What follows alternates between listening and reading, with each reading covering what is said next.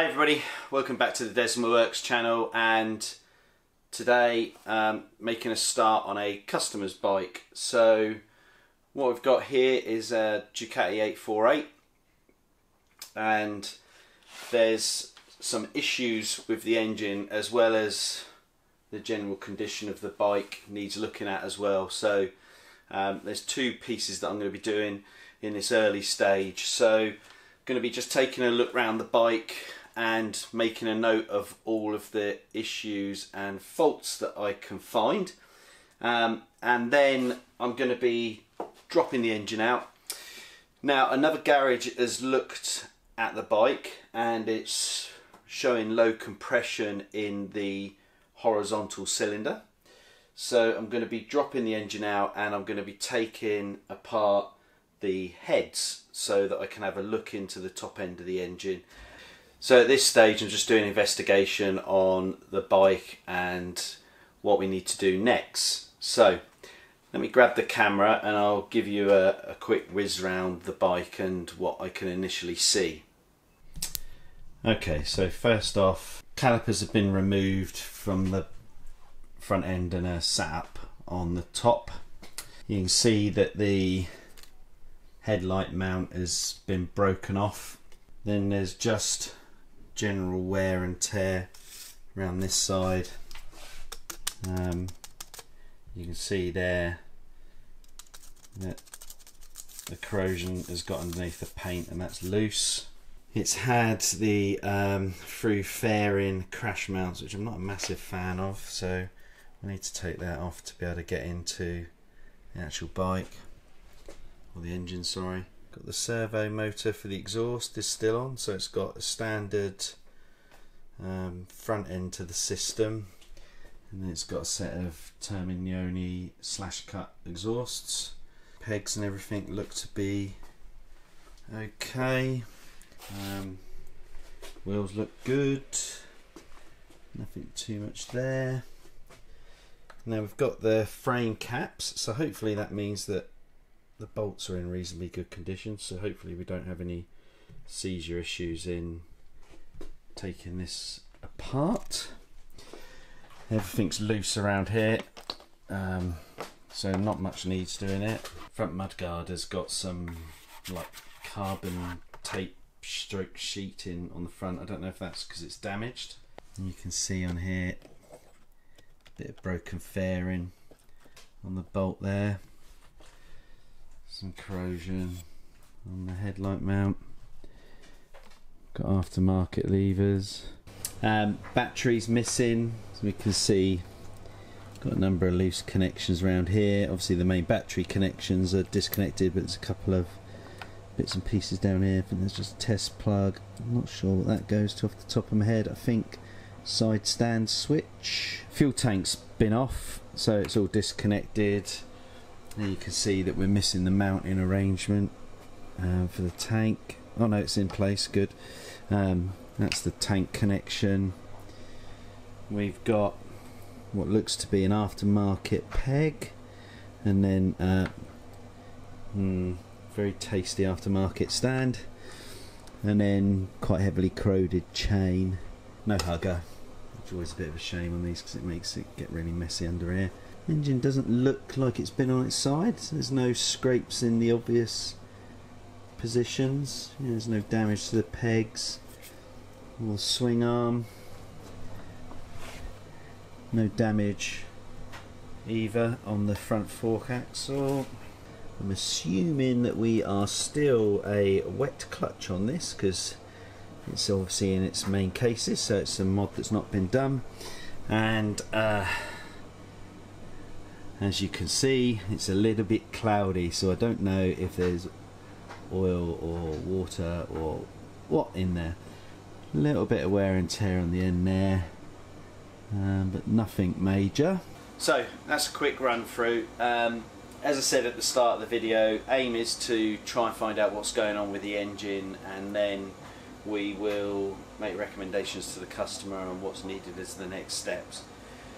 So first off what I need to do is I need to get to a position where I can get access to the engine really easily so I'm going to start taking off all of the peripherals. So we'll get rid of fuel tank, exhaust, we'll drain the coolant, drain the oil, um, and all those bits and pieces just so that we're in a position to be able to see what what the overall condition of the engine's like in a bit more detail. We'll pop the airbox off once I've got to that position. Um, I may even um, take off the heads with the engine in the frame just so you can see that process um, because I've not done that beforehand. I don't often, from a filming point of view, I don't often get to get the full bike in the garage so this is a bit of a novelty from a customer point of view because usually I just get sent the engines. Um, so this one I've got the opportunity to film a little bit, little bit more when we take this bike apart. Okay, let's start getting into these uh, peripherals and start taking them all off. Okay, first bit we need to do, let's get the tank off. I think that it's just rested on there. So it should be a pretty straightforward thing to do. I can see that, you can see normally these are your uh, drain pipes that come out from these two connectors here. You've got one fuel line here and another over there. The bolt is undone. And we're free on the key side so I think I can just literally pull that back and it's going to be off. So let me just position the camera so you can see this better and I'll do that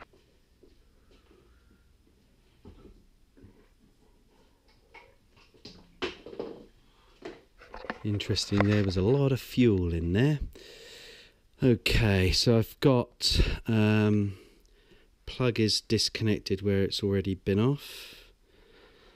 I think, yeah, we're the same on the front cylinder. It's actually laying down at the front there.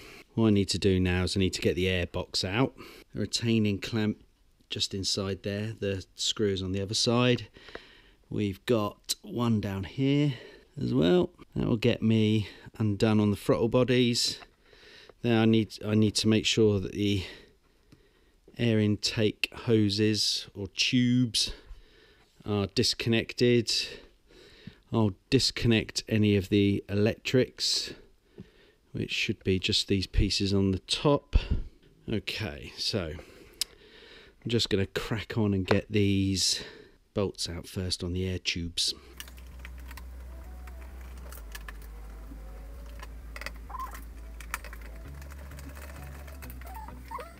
So a little piece to watch out for on these. These ones have been over tightened before which has sort of crushed the end of the air tubes. Let's just get the other one off and see what we find on that one.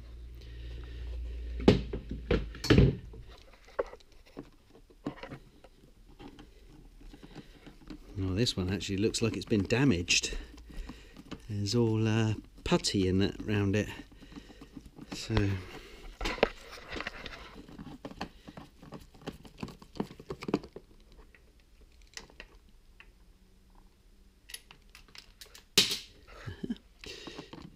Interesting.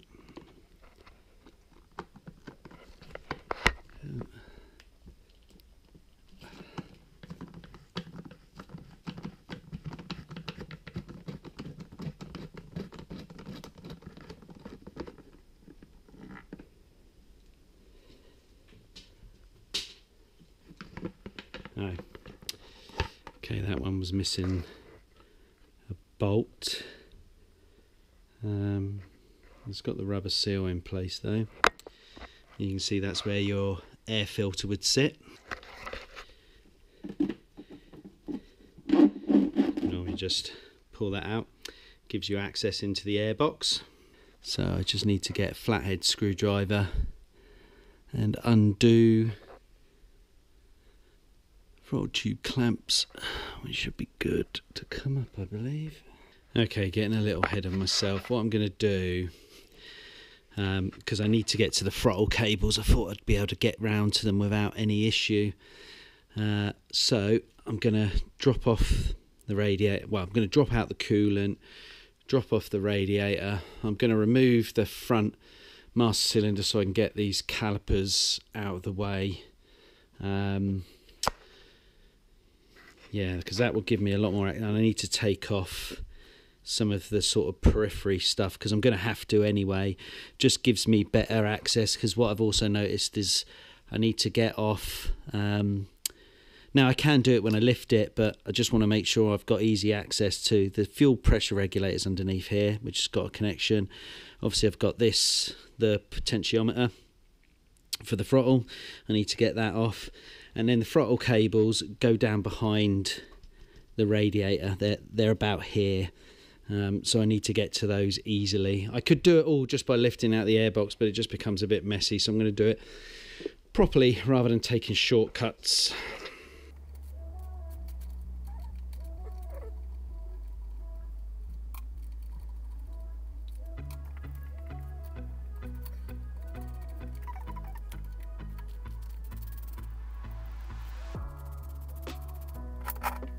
Loosened off the um, throttle tube just so I could pull the calipers through so I didn't have to break any lines. Um, I'm not fully tightening it back up because I need to get these off in a second. When we pull the airbox off, now, question is, have we been given a bike with coolant in it? Uh, yes, we have. Okay. So we will drain that off.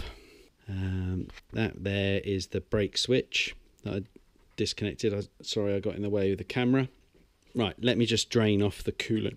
Best place to do it is on the side of your water pump. There is a drain plug here.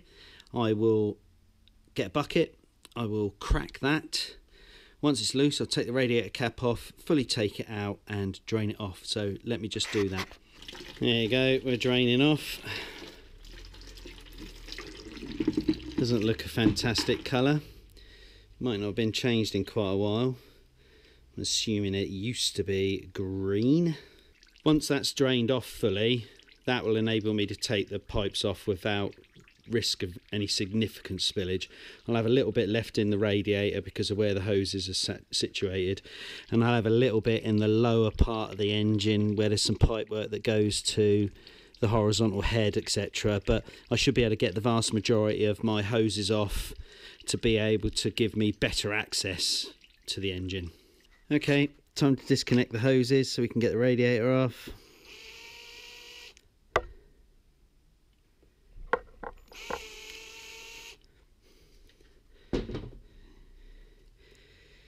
Interesting, they were quite loose actually.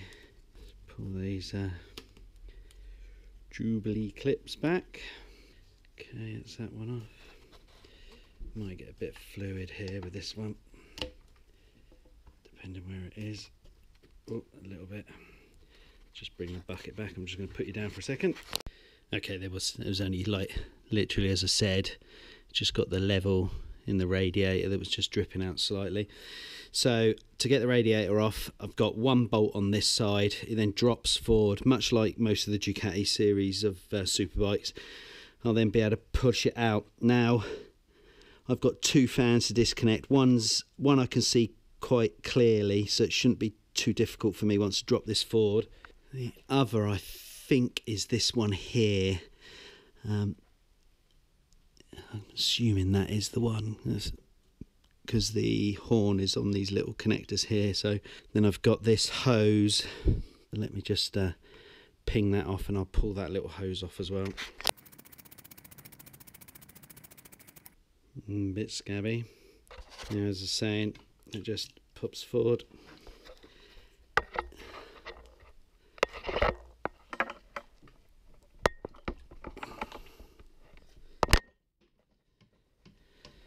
Okay, now I've dropped the radiator forward. I can just disconnect the two electrical connectors and then I can just pull it out of its last little hook. Let me do that off camera. Okay, back from the coffee. Um, what I'm going to do now is I'm going to strip out the battery box to get that out of the way. Um, so it's got one, two, three bolts there. I'll just need to disconnect the ECU uh, and I'll probably need to drop off the starter unless I can get the solenoid off which I don't know if I can. Let's, I'll have to see in a second but right let's just get this off of there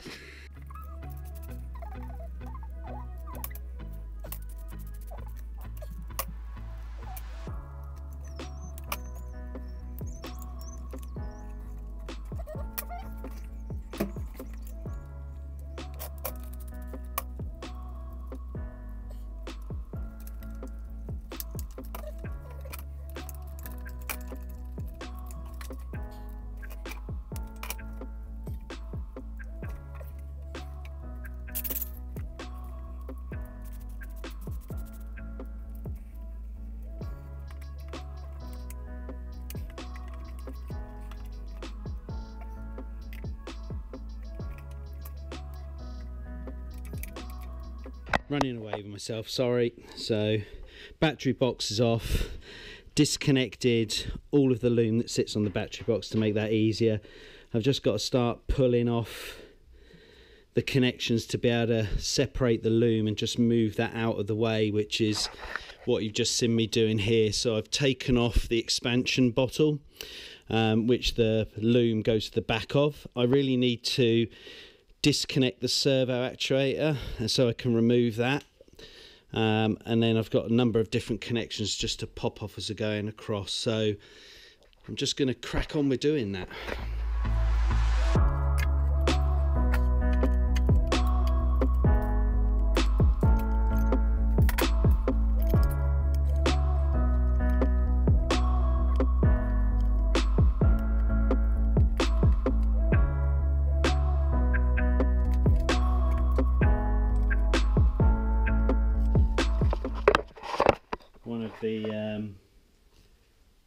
Servo cables has been torn to pieces.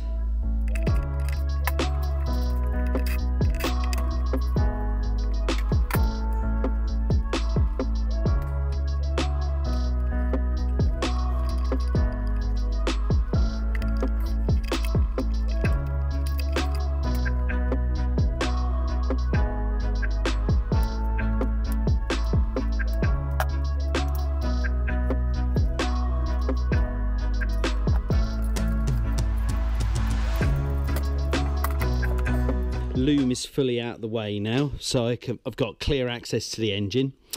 Um, what I need to do now is just drop off the exhaust. So I'm going to be taking it all off. So I need to take off at the manifold the manifold. All the slash pipe will need to come off. So I'll basically start taking it off from the back and work my way forwards. And then I need to get the side stand off disconnect the gear linkage. I just need to pop this connector off for the vertical cylinders um, coil stick. I was forgetting what to call it then. Um, I will eventually um, need to take off this, but I want to get to a point. I'll drain the oil, then I can disconnect the cooler. On this side, I'll just need to disconnect the rear brake assembly and get that just moved out of the way and then as just said I'm just going to get rid of the exhaust in a second. So that will be gone shortly. That will give me unfettered access to the engine then. Okay so just popped off the um, heel guard so I could get into here. Good news is that one came out. These ones however somebody has tried to take them off before. So it's nice and loose but they are rounded.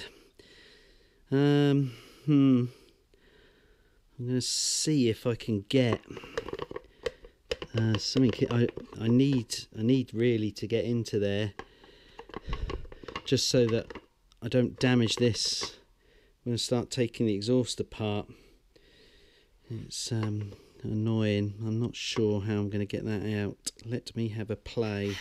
So, um, my favourite way of getting these off is a star drive you hammer it in because this is a bit soft. I'm gonna have to get new ones of these anyway so the main bit is that I can get these off. So pop this in as I've just done on that one.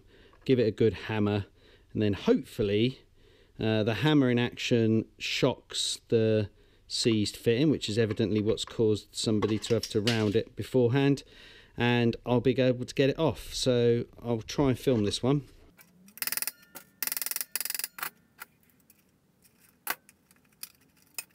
not pretty but it means that we don't have this nice carbon piece from the exhaust damaged. Um, this is not untypical. These um, sort of screw clips that are used on a number of different bikes they're just really bad quality metal and then they corrode the bolts get stuck and that's why people end up rounding them off. So However, we've got it off. Right. Um, what I need to do, pop off the exhaust uh, clamps at the top, get rid of all the springs. Um, so I've got one here and one down here and hopefully I should be able to pull off the rear part of the section. I've got a bolt there um, and there is nothing else holding that in. So let's do that.